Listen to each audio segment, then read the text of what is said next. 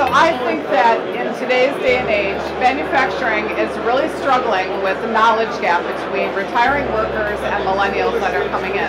At the same time, they've got challenges from competitors who are implementing IoT technologies.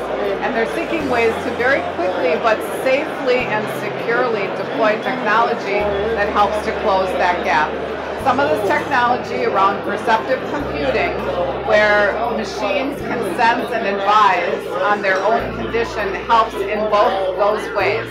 And in combination with things like augmented and virtual reality, can help assist workers when they go to actually do the tasks on that equipment.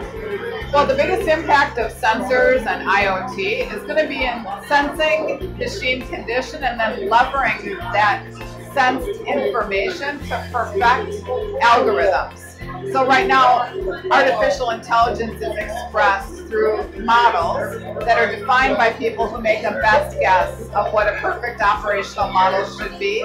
But the sensors continually feeding information back to those models help to refine the algorithms and make them more accurate. And then the inferences that come from those changes in conditions are actually much more accurate and more like uh, human perception of actual conditions.